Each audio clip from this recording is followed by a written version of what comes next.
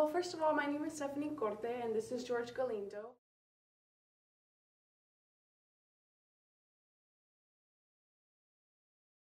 Basically, I first thought of the idea because I wanted to make a difference in this university. I, I, saw how much passion I had for UTPA, and I wanted to find a place where I could really make a change, really leave something behind, really affect the students' everyday lives.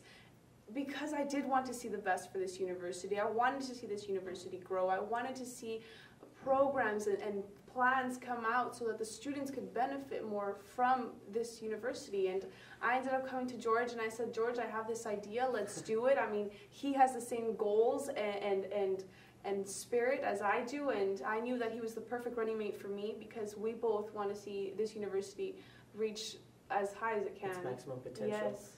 For me, what decided what I decided to do was Steph approached me with the idea, and I had always wanted to become involved with SGA. It's a great organization. It's a great voice for students that may not have enough, um, not ambition, but enough emotion to go ahead and, and voice their expressions, but they do have concerns. And what we wanted to do was, as executive tickets, was portray their voice of each student so that their voices can be heard. For me as an individual, coming into SGA, I said, it's a great opportunity, it's a great program, I'm surrounded by great people. And when I was approached with Steph about this, she went ahead and, and our platforms were the same. We had the same ideas, the same goals. And we worked as executives before yes. with Alpha Lambda Delta, which is the honor society I'm currently president of, and she's oh, vice. So we know what it takes to, to run a team, to run a group of individuals, and we know together that we can do a great job. And our platform for SGA is basically focused on three main points, spirit, growth, and accomplishments.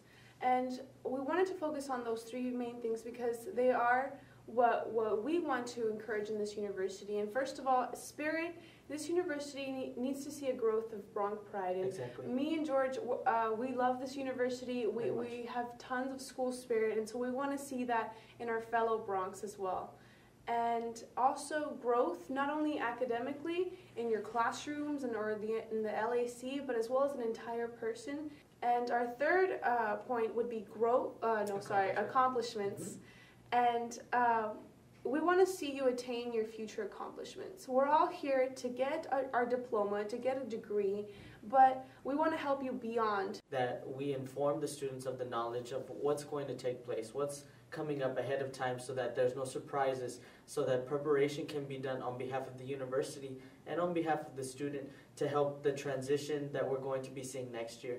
It's going to make a big impact and we're doing our best to settle the blow of what the budget cuts are going to do to our university.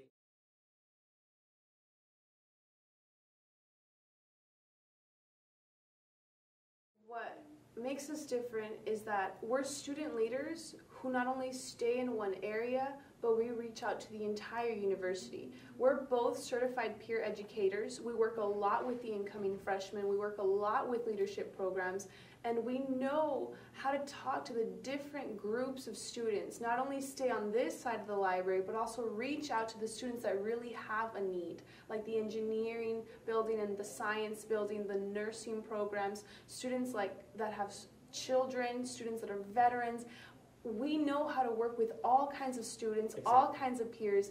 We have that training, we have that background in that, and we know how to really, really represent an entire student body.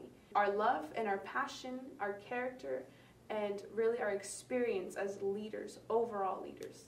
And what makes us different, I feel, as well, is the colleges we represent. Most of the candidates before come from the College of Business, the College of Social and Behavioral Sciences, uh, I myself represent arts and humanities and education, and Steph as well with arts and humanities. And we feel that it's a very different feel that we can bring to SGA. We know the concerns, we have the background, as she previously explained, the mentoring programs that, that we provide to future students coming in that will be the next generation of UTPA.